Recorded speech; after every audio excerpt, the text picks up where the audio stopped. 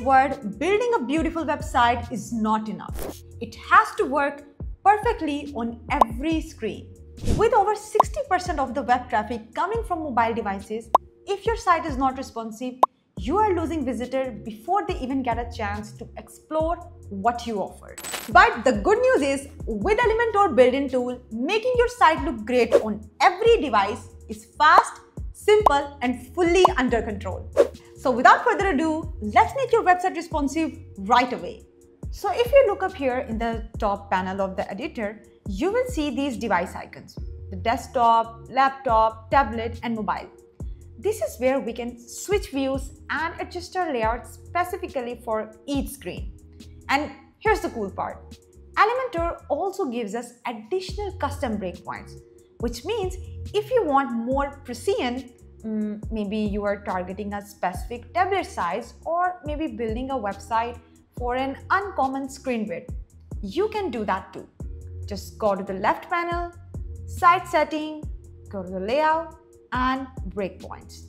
And see, here you will find all the default breakpoints already set with their screen sizes.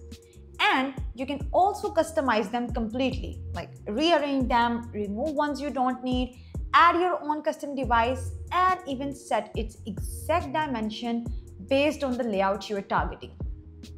Now, for this video, we will stick with the default breakpoints, but I wanted to show you that this flexibility is there when you need it.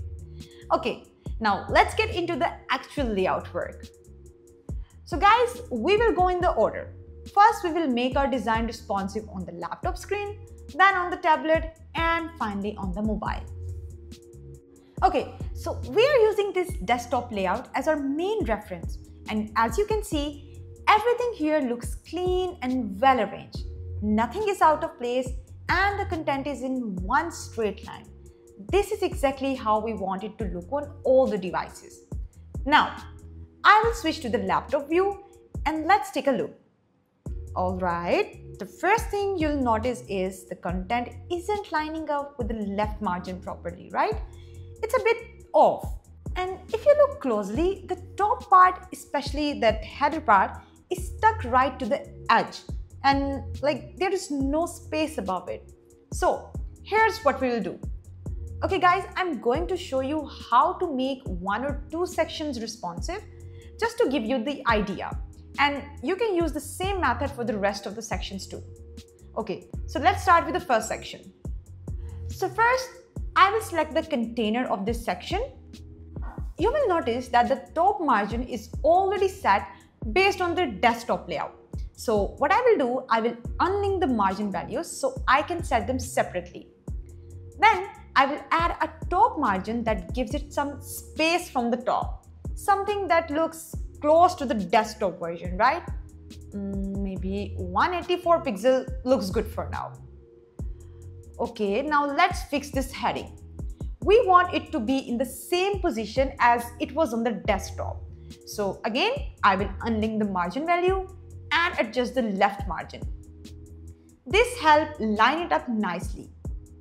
Alright, 40 pixel looks good, right? Then I will tweak the right margin too, just to make sure that the heading doesn't look too stretched and still matches the desktop look. Nice. This look balanced now. Okay, so the next up we have the paragraph text. Now for the paragraph or the description text, I'm not changing the margins. I'm going to adjust the left and the right paddings instead. Now, look, Technically, you can use margin to move content from the sides, but I feel paddings is a better choice here. Now, if I had used margins, the whole widgets or the box would have shifted and might not have lined up with the heading or the button. But since I'm adjusting the paddings, so it will only add space inside the box around the content. The box or the widget stays where it is and the content gets some room to breathe which makes it easier to read and looks cleaner. And that's it. We are done with this first section for the laptop view. Let's move on to our next section. Okay, now let's take a look at our second section, which is a feature section. So first, let's select the container. Now, if you look at the padding set for the desktop, you will notice it look properly aligned even on the laptop screen. So we are not going to change it. It's already looking great, right? Other than that guys, quick but important step here. Make sure you select each icon box one by one and set the padding and margins to zero. Because sometimes these boxes come with default spacing that messes with alignment like one icon sit higher, another sit lower and the whole row start to look a bit off. So by setting paddings and margins to zero, we are keeping things clean and even. Alright, that's it for this section. Everything's looking clean, layout is nicely aligned, so let's move on to the next part. Now we will make this design responsive for the tablet screen. Since we fixed most of the layout for the laptop screen, we won't have to do much work for the tablets now. And that's one of the best things about using Elementor. When you make your design responsive for one screen like desktop, a lot of that works helps for the smaller screens too. Now let's take a look on the tablet view. The content is nicely aligned to the left, mm, but let's adjust the heading a little and bring it into the two lines to match our reference. So I will select the heading, unlink the margin and give it a 40 pixels margin from the left side. I will keep the rest of the margins to zero. Next, the heading text looks a bit too big for the tablet, right? So I will open the typography setting and reduce the size to match the tablet view. Let's go with, um, I guess, 52 pixels. Yeah, that's look good and matches with our reference design, right? Now, if you look at the description, in our reference, it should appear in two lines. So I will adjust the text a little to make sure it wraps nicely into two lines and stays aligned from the left to right. Alright, one more thing. I feel like the space above the heading is too much, right? So I will unlink the padding and reduce just the top padding to 40 pixels. That pulls the design together and make it look tighter and cleaner. Looks much better now, right? Now, if you look at this hero section, it looks too tall for the tablet. But in our reference design, we should be able to see a bit of the feature section above the fold. So what I will do, I will reduce the height of the hero section to maybe 880 pixel. Yeah, that fits better and now our design look just like our reference. And that's it. Let's move on to the feature section. So let's select it. Okay, so these are some settings here. Mm, let's first check how this section looks on the desktop view.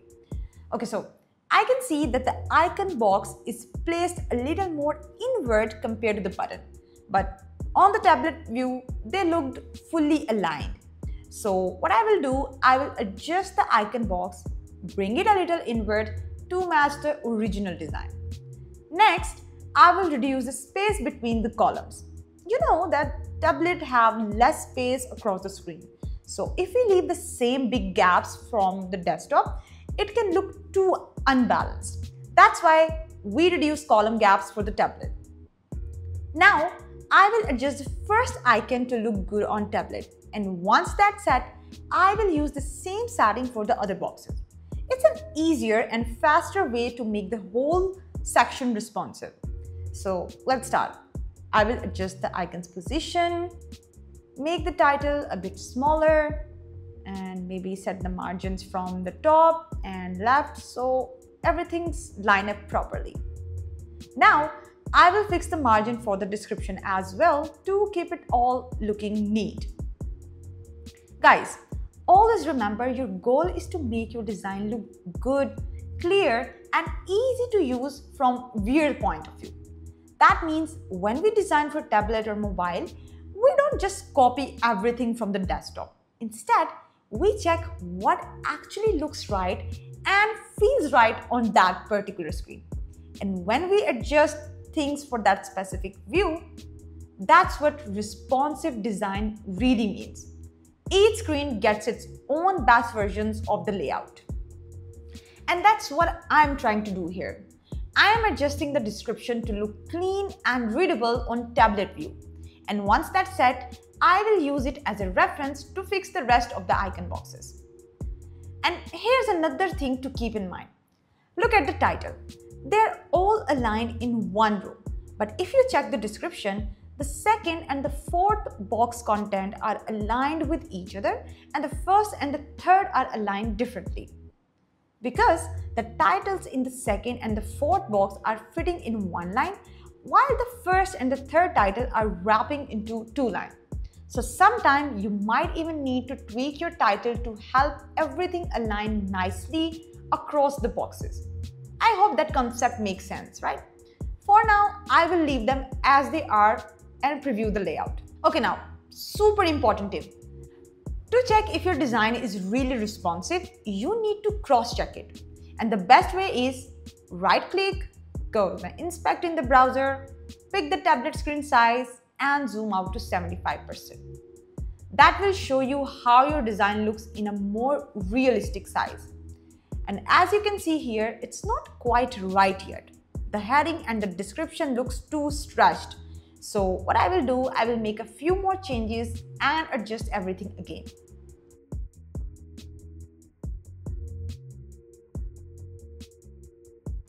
Now inspect it again and make sure to hard refresh it.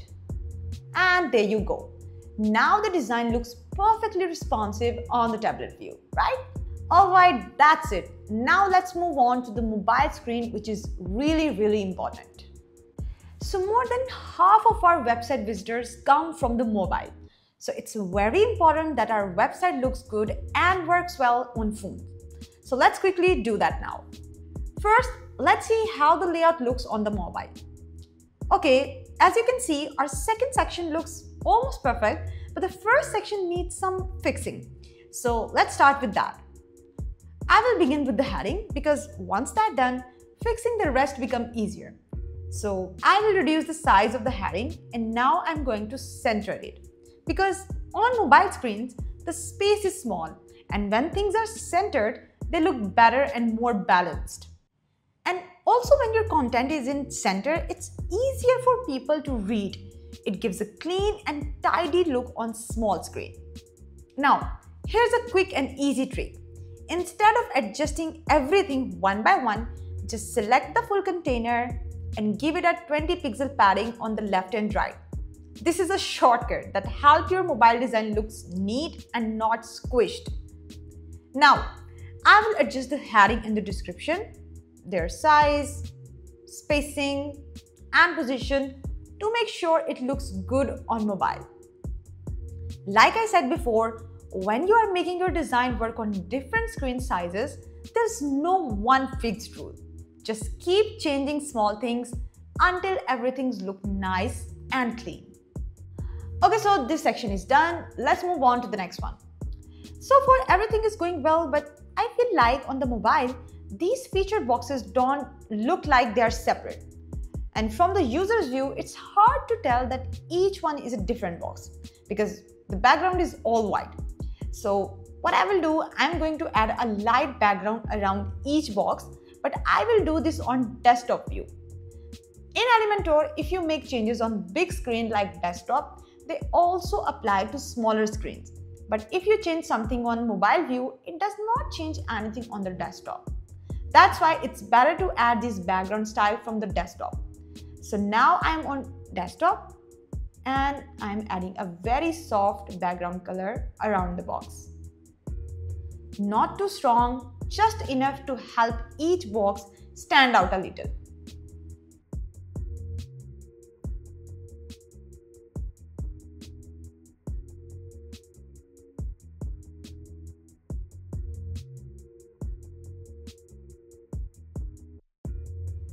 Now that we added the background, I can see the boxes look a bit too close together, right?